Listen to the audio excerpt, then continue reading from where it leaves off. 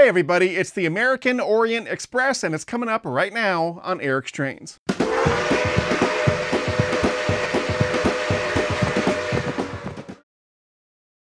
All right, so in this video, we're going to be checking out the American Orient Express passenger cars that Lionel just released not too long ago.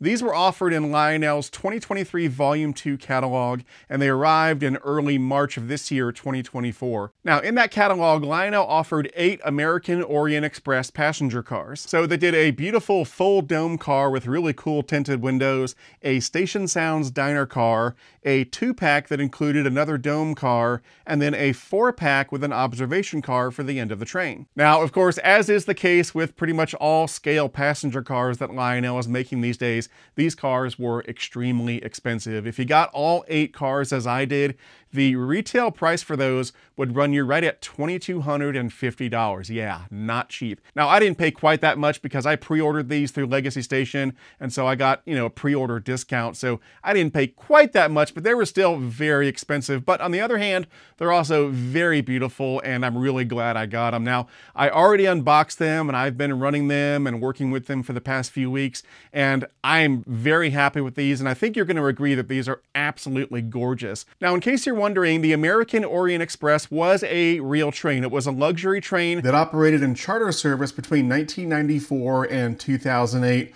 although it really traces its origins to the American European Express, which was a train that started operation in 1989. It was operated under contract with Amtrak and used Amtrak locomotives and crews. And also, in case you're wondering, the American Orient Express had no relation whatsoever to the real Orient Express that operated over in Europe. This was just a really cool idea that they decided to do here in the States. Now, I've looked at pictures of the real American Orient Express and compared them to the one that Lionel made, and I think Lionel did a pretty good job overall. The blue that Lionel used is pretty close to the real thing. And that's saying a lot for Lionel these days because, as you know, they sometimes have issues with blues and greens. And so they got it pretty close, close enough in my opinion. And so, like I said, these things look absolutely great. Now, you'll notice that in the catalog, it wasn't offered with any sort of locomotive.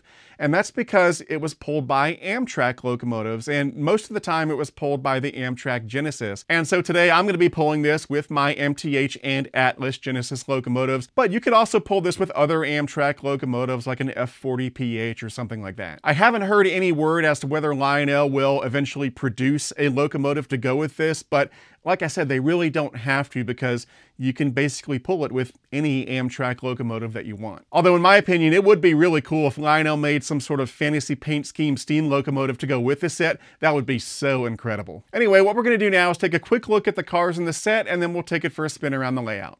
All right, so the American Orient Express passenger cars here were made using Lionel's 21-inch passenger cars that they've been making for many years now. They're tried and true. They work great, in my opinion. They don't come with passengers on the inside, but it's very easy to add them on your own, and that's exactly what I've done with most of these cars.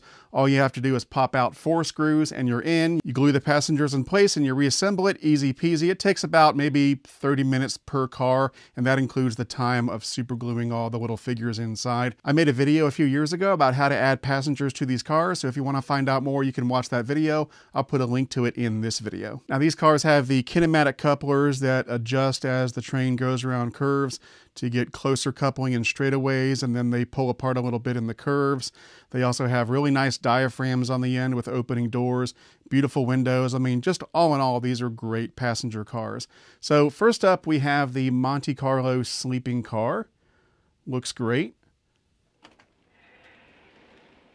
You might hear some sounds coming from the sound car as I roll these because I've got them powered up so you can see the lighting. Then we have the Seattle Club car. This thing's gorgeous and I really like the Orient Express seal that they have on each car. That looks great. Then we've got another sleeping car. This is the Washington. And the interiors of these cars are pretty nicely detailed. They're not painted or anything like that, but you've got chairs and tables and toilets and stuff like that. They're very nice. All right, then we've got this really cool full dome car with the tinted windows. I think this thing looks amazing. This one is named the Copper Canyon, and this is probably overall my favorite car in the set. Moving on, here comes the noise. This is the Station Sounds Diner car. The name on the car is Zurich. They've got the sound system on this side of the car, and then the passengers over here. All right, moving on. We have another dome car. This is the Glacier Park. You can see I've added people up here in the dome and down below. Now, I've never shown this before, but on these dome cars, including the full dome car, all you have to do is pop the dome off like this, and then add your figures, and then carefully put the dome back in place. All right, moving on, we have another sleeping car. This one is known as the Vienna. And then at the end of the train, we've got the observation car, which is named New York. And this is another beautiful car. Probably after the full dome car, this is my second favorite car in the set, just because of the end and the drum head on the back. It looks absolutely beautiful. And I really like the antennas up on top.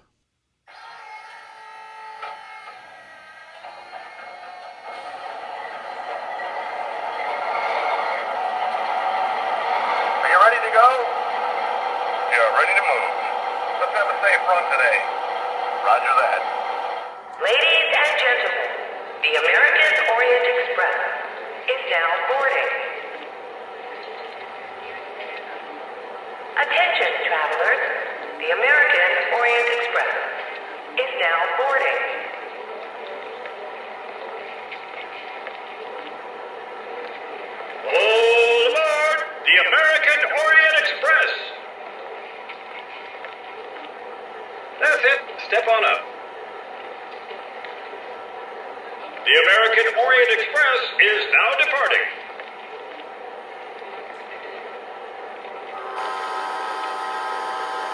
Time to board the American Orient Express.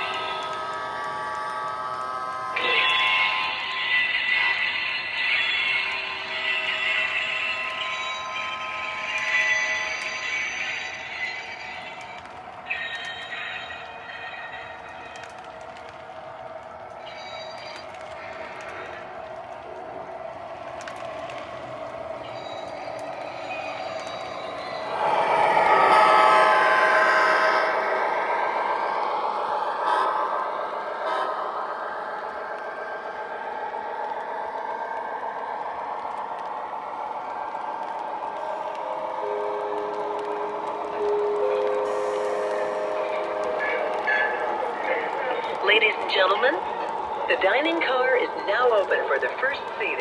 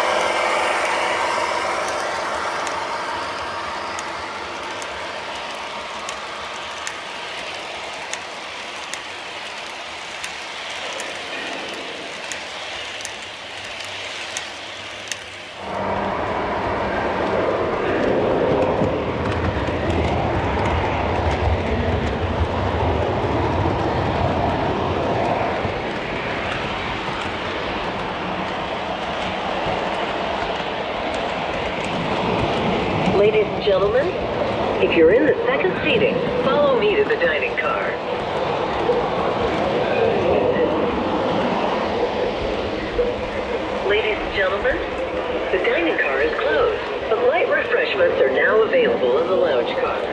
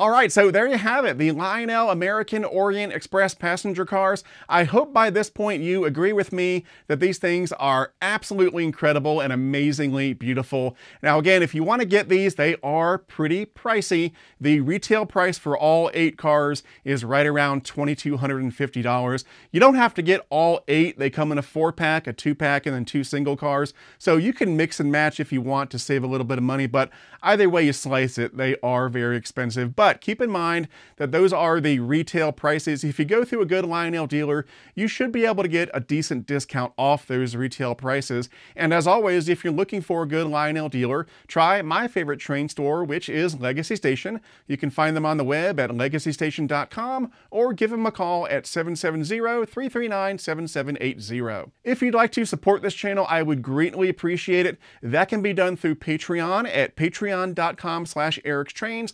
Patreon supporters get access to all sorts of perks and benefits, and you can read about those benefits on my Patreon page. I'd like to put a huge thank you out there to all of my current Patreon supporters. Your support means the world not only to me, but to the future of this channel. And an extra super mega thank you goes out to my premium tier Patreon supporters. You'll see their names at the end of this video. And finally, if you'd like to pick up some Eric's Trains merchandise, you know, t-shirts, coffee mugs, pint glasses, phone cases, stuff like that, check out the Eric's Trains online store at ericstrains.com slash store. So that's going to do it for now. I'm Eric Siegel. Thanks for watching. Stay safe, and I'll see you next time.